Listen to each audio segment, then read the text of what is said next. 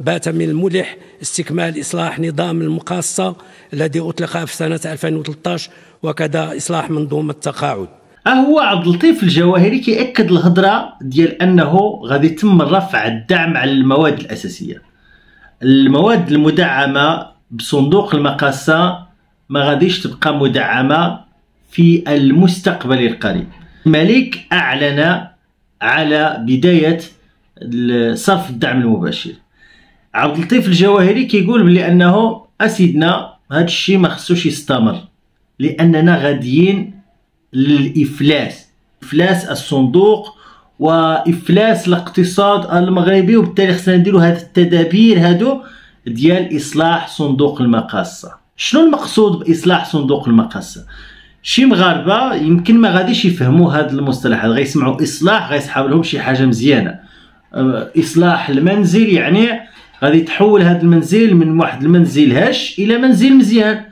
ولكن للأسف الشديد هذه المصطلحات عندما تستعمل في المغرب فالمراد منها هو التخريب في جميع القطاعات سواء في التعليم في الصحة في ما هو اجتماعي. ملي كتلقى النظام كيستعمل الإصلاح عرف بلي أن شي حاجة ماشي مزيانه عرف بلي أن الأمر يتعلق بإملاءات خارجية الهدف منها هو رفع الدعم العمومي الموجه للفئات الاجتماعية الهشة ولا لتحقيق غايات اجتماعية معينة.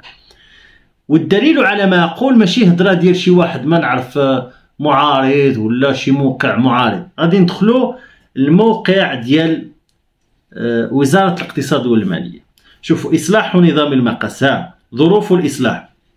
يعود نظام المقاسة لأربعينية القرن الماضي كذا كذا كيعطيك الكرونولوجيا ديال صندوق المقاسة شوفوا وترجع الأسباب الأساسية لارتفاع كلفة المقاسة إلى ارتفاعات المهولة كذا كذا كذا. يعني شنو بغى يقول لك بغى يقول لك المشكل ديال صندوق المقاسة اليوم هو الكلفة الباهظة اللي كيخلصها باش يحقنا ديك باش المواطن يمشي يشري البوطة ب 40 درهم. حنا كنشريو البوطة ب 40 درهم والتكلفة ديال ديك البوطة غالية بزاف. اذا الميزانية ديال الدولة كتخسر بزاف باش أنها تغطي لنا داك الفارق ما بين الكلفة ديال الحقيقية والكلفة اللي كيعطيها المواطن ولا القيمة اللي كي المبلغ اللي كيعطيه المواطن. اذا شنو هو الإصلاح؟ الإصلاح بكل بساطة هو أن هذه الكلفة الكبيرة ما خصهاش تبقى. الدولة ما خصهاش تحمل المسؤولية ديال هذه الكلفة هذه. اذا الحل شنو هو؟ الحل هو أننا نرفعوا الدعم على صندوق المقاصة. اليوم صندوق المقاصة وصل حتى 40 مليار ديال الدرهم. هضر عليها سميتو وزير الوزير المنتدب لدى وزير وزيرة المالية وزارة المالية. وهضر عليه رئيس الحكومة وهضر عليه حتى الملك وهضروا عليه جميع الفاعلين الاقتصاديين في المغرب. فهذه التكلفة هذه باش نتحكموا فيها اذا خصنا نرفعوا الدعم على صندوق المقاصة. إلا مشيتوا للميزانية غتلقاو فيها الموارد غتلقاو فيها آه، التكاليف أو النفقات. المغرب بالإضافة إلى النفقات اللي كيعطيها الموظفين اللي كيعطيها للمجموعة من الصناديق مثلا مجموعة من الحسابات مثلا بحال الحسابات الخصوصية للخزينه اللي هذا نقاش آخر ممكن نناقشوه من بعد. فكيخلص كذلك على هذا الشيء على على المقاصة. آه، في الحدود ديال 25 مليار ديال الدرهم كيعطيها على المقاصة. القيمة الأخرى اللي وصلنا ل 40 مليار ديال الدرهم هي القيمة ديال 10 ديال المليار عطاها سميتو للفلاحين دوك الأعلاف وكذا وكذا. وهو آه، أول دعم من نوعه في التاريخ اللي تعطى للفلاحين باش يواجهوا ظاهره ديال الجفاف. وأعطاو خمسة ديال المليار وشوية خمسة وشي حاجة خمسة وصل أربعة ديال المليار ديال الدرهم عطاوها للمهنيين ديال النقل إلا جينا نجمعوهم غادي نلقاو بلي أن الأمر يتعلق بواحد الكلفة باهظة ديال 40 مليار ديال الدرهم. الدولة باش هاد 40 ديال المليار ولا الكلفة الحقيقية هي 25 مليار ديال الدرهم باش ما تبقاش إذا خصنا نرفعوا هذا الدعم هذا ونديروا في بلاصتو واحد الحاجة أخرى اللي هو الدعم المباشر ديال الفئات الهشة.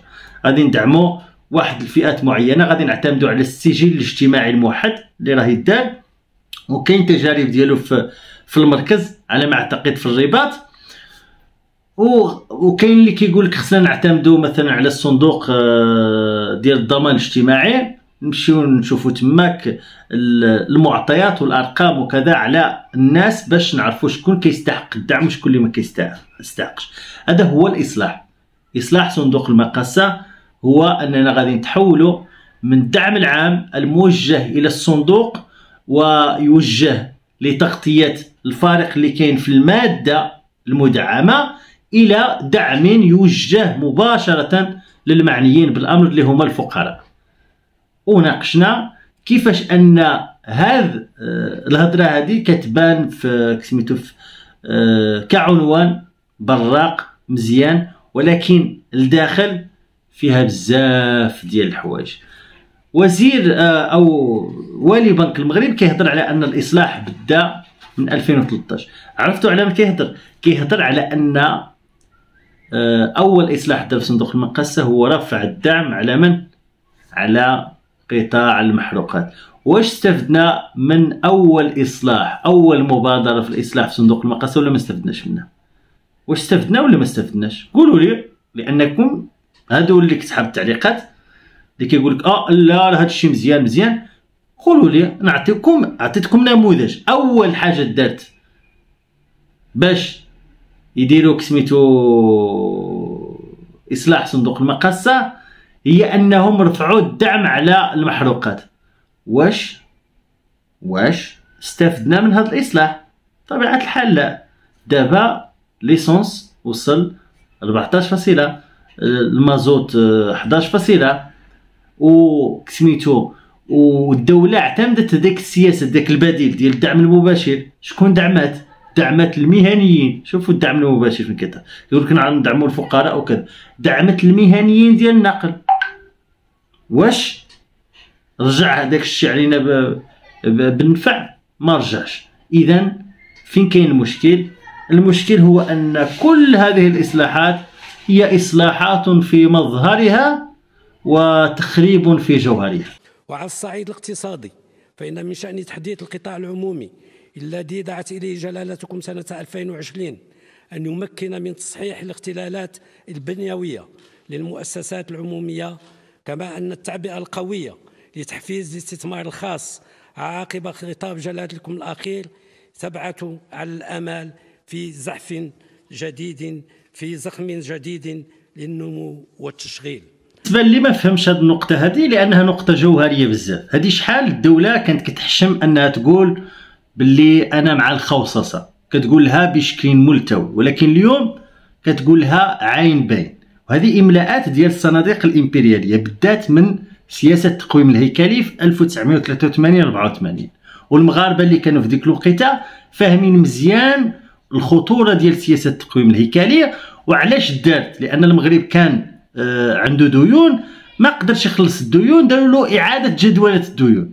ومقابل إعادة جدولة الديون داروا سياسات آه، ديال الخوصصة في القطاعات العمومية. خاص الدولة آه، تدخل شركات للقطاع العام القطاع مثلا الصحه التعليم باش تولي دوك القطاعات قطاعات منتجة.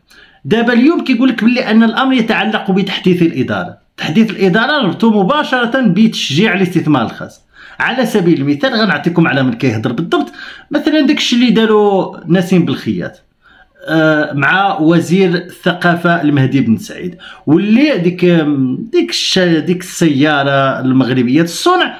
فكيقولوا بلي أن بحال هاد المشاريع هي اللي غتزيد لقدام بالمغرب.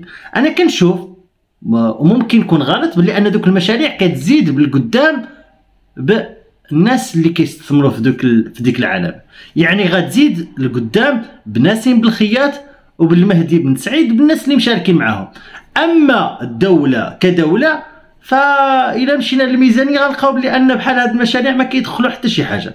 ولا عنده شي معلومة مغايرة يقولها لي. استطاع المغرب تحت قيادة جلالتكم الرشيدة أن يفرض نفسه كشريك موثوق به وكبلد للسلم والاستقرار وهو ما فتح يعود عليه بالنفع الكبير كما يدل ذلك خروجه من لائحتين رمادية لمجموعة العمل المالي والاتحاد الأوروبي واستفادته من خط الائتمان المالي لصندوق النقد الدولي وكذا احتضانه للاجتماعات السنوية المقبلة لصندوق النقد والبنك الدولي بمراكش. لاحظتوا في التالي كامل ديال هذا الشيء؟ كيهضر على أن المغرب أصبح شريكا موثوقا به للصناديق الإمبريالية وباللي هاد الصناديق غادي تجي لمراكش صندوق النقد الدولي والبنك العالمي.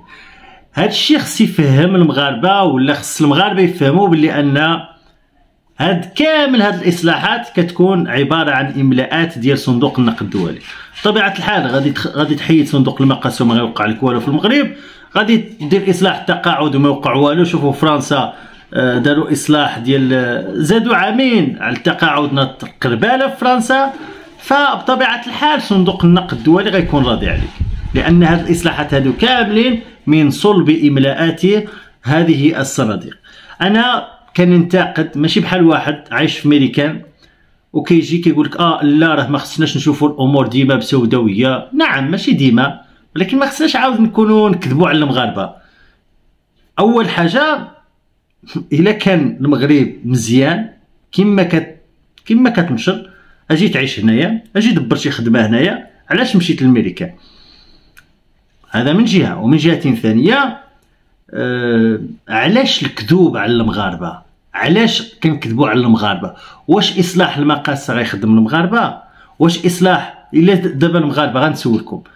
دابا إلا زادوا في التقاعد ولا 70 عام واش كيخدم المصالح ديالكم؟ كيخدمش المصالح ولكن هو إصلاح التقاعد إصلاح صندوق التقاعد. هو إصلاح سموه إصلاح. وقس على ذلك. المهم تهلاو في راسكم باش الفيديو ما يكونش طويل. بسلامه عليكم بارطاجيو هذا الشيء وبسلامه عليكم.